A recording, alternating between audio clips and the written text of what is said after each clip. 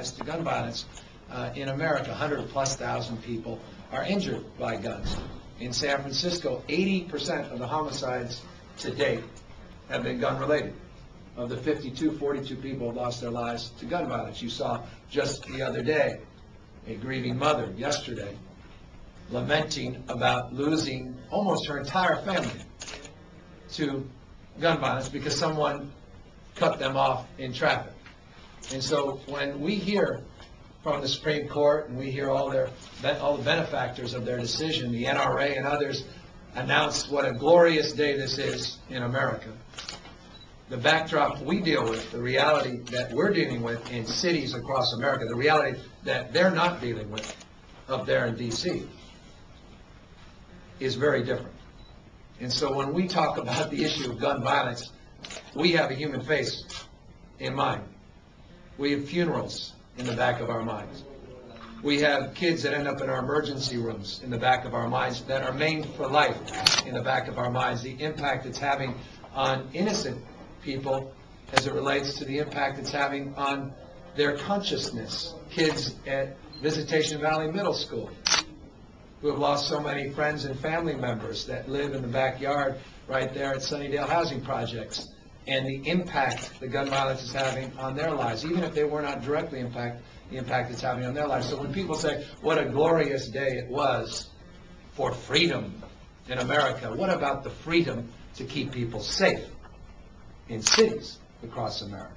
That's the freedom we're speaking about. That's the freedom that has driven mayors across this country, like Mayor Rich Daley, to decry and express outrage over the Supreme Court decision. That freedom is a freedom we want to maintain, the freedom to keep the people of the city and county of San Francisco safe that we're trying to advance today, and the one we will advance as it relates to the assault by the National Rifle Association to try to undermine our gun control laws, which, as they stand today, are among the most restrictive in the nation, and I think that's a good thing.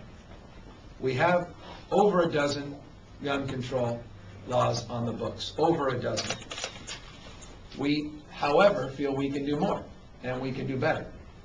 While the NRA wants to point its fingers and find some cases to advance in cities to discredit in terms of their advocacy and efforts, Chicago being their first choice, apparently San Francisco their second, um, we will stand on principle and we will fight back because too many people are losing their lives and the consequences of not doing so are ominous.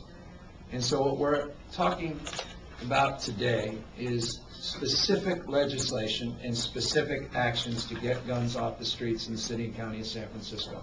I will leave to the chief of police the details and specifics of the five initiatives that we're advancing today, four of which will come from the chief and one significantly from the district attorney who has been a partner with us side by side, step by step, day by day, year after year, advocating the same for common sense restrictions on guns.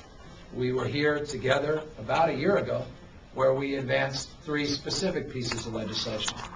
One that we believe the NRA will target, and that has to do with trigger locks and storage of guns. We had a 14-year-old, why are we here?